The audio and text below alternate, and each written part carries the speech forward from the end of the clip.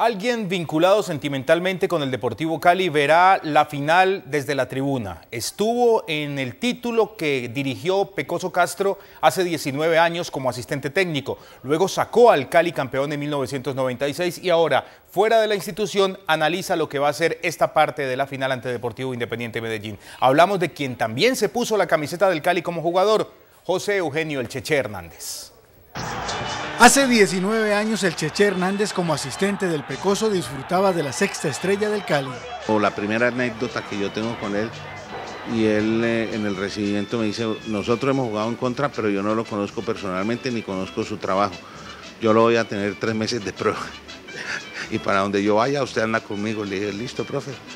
En 1998 el Cheche conquistó el séptimo título de los azucareros, con juveniles de las divisiones menores a Viveros contemos uno, Andrés Mosquera dos, eh, Giovanni Córdoba tres, eh, Telenví Castillo cuatro, Arley Betancur era canterano cinco, eh, Freddy Hurtado, Mayer Candelo.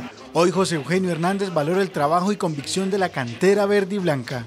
De un canterano que se lesiona y entra otro canterano y entra otro canterano de 18 años y el que se lesionó es de 18, 19 años.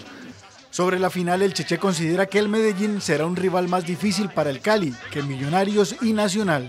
Pero también al frente está un rival con mucha disposición táctica, con mucho orden táctico. José Eugenio Hernández, quien está en la historia del Cali, estará apoyando el sueño de la vuelta olímpica.